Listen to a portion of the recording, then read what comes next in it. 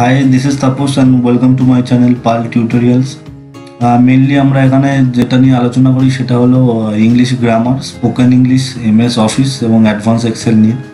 আজকে আমরা যেটা নিয়ে শিখব সেটা হলো ইংলিশ গ্রামার এবং ইংলিশ গ্রামারের মধ্যে যেটা শিখব আজকে সেটা হলো সাবজেক্ট প্রেডিকেট এবং অবজেক্ট তো চলুন শুরু করা যাক।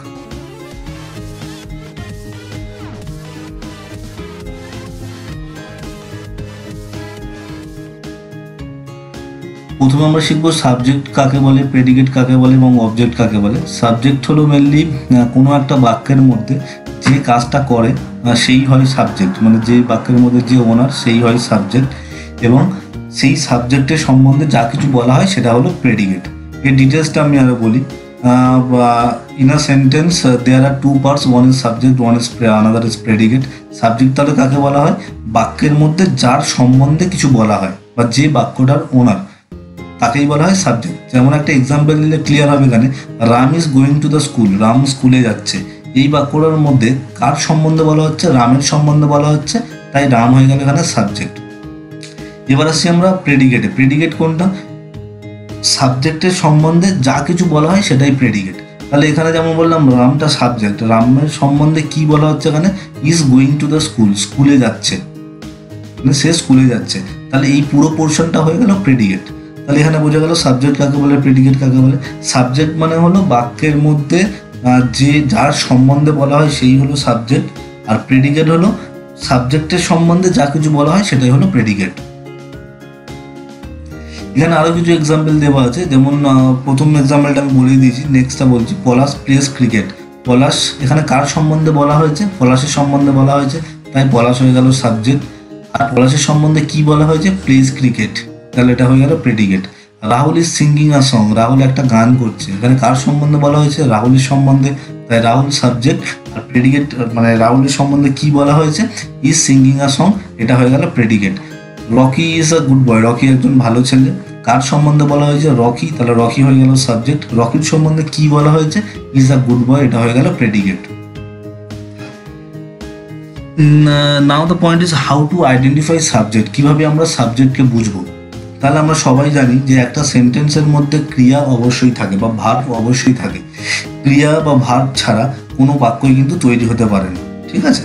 তো সেই ক্রিয়াকে যদি আমরা হু এবং হোয়াট দিয়ে প্রশ্ন করি, তাহলে কিন্তু আমরা সাবজেক্ট পেয়ে যাব।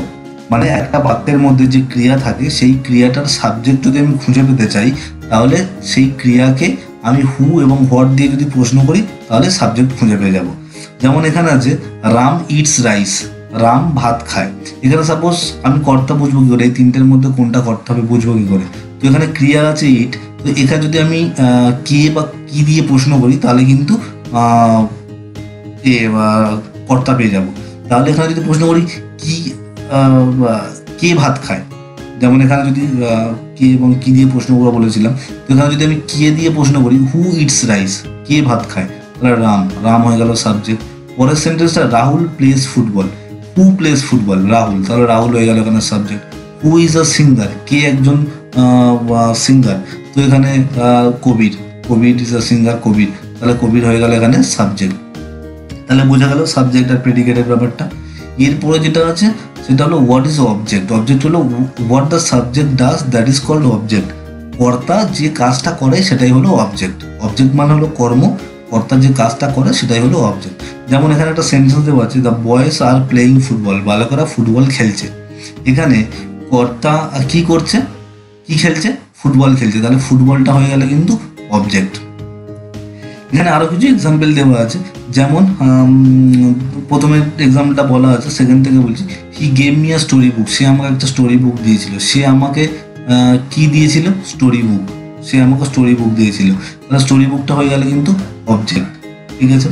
এখানে হি অর্ডার দ্য স্মার্টফোন সে আমাকে একটা হি অর্ডার দ্য স্মার্টফোন সে একটা স্মার্টফোন অর্ডার করেছিল। সে কি অর্ডার করেছিল? স্মার্টফোন অর্ডার করেছিল। তাহলে স্মার্টফোনটা হয়ে গেল object I know the girl আমি মেয়েটিকে চিনি। এখানে আমি কাকে চিনি? মেয়েটিকে। তাহলে মেয়েটি হয়ে গেল অবজেক্ট এখানে যে বাক্যটা আছে, এই বাক্যটার মধ্যে কিন্তু দুটো অবজেক্ট আছে।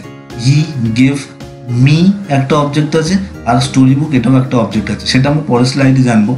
তো তার আগে জেনে নিই অবজেক্ট কীভাবে আমরা বের করব?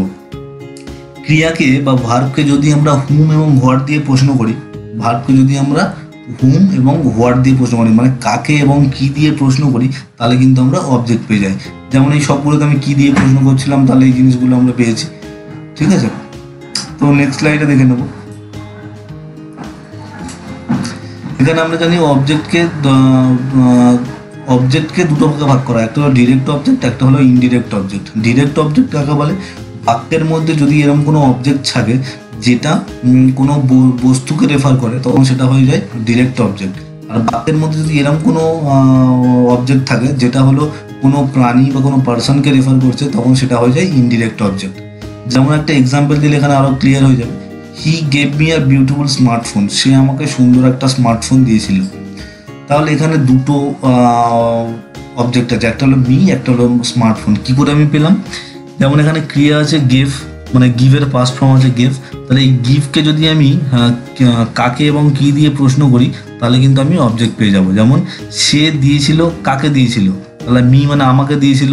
তাহলে আমি যেহেতু পার্সনকে রেফার করছে, তাহলে মিটা হয়ে গেল ইনডিরেক্ট অবজেক্ট সে আমাকে কি দিয়েছিল? স্মার্টফোন দিয়েছিল। স্মার্টফোনটা হয়ে গেল একটা বস্তু, তাই এটা হয়ে গেল ডিরেক্ট অবজেক্ট স্মার্টফোনটা হয়ে গেল ডিরেক্ট অবজেক্ট এখানে আরেকটা এক্সাম্পল দেওয়া আছে, সেটা হলো Raja gave the book to Rahul. Raja রাহুলকে একটা বই দিয়েছিল। তাহলে রাজা কাকে দিয়েছিল? রাহুলকে দিয়েছিল। রাহুল হলো একটা পার্সন তাই এটা হয়ে গেল ইনডিরেক্ট অবজেক্ট রাহুল কি দিয়েছিল? বুক দিয়েছিল। বুকটা হয়ে গেল একটা বস্তু, তাই এটা হয়ে গেল ডিরেক্ট অবজেক্ট তাহলে আশা করি বোঝা গেছে, এত পর্যন্ত। তাহলে আমরা কি কি শিখলাম? সাবজেক্ট শিখলাম প্রেডিকেট শিখলাম, আর অবজেক্ট শিখলাম। ওকে আজকের সেশন এত পর্যন্তই ছিল। Thank you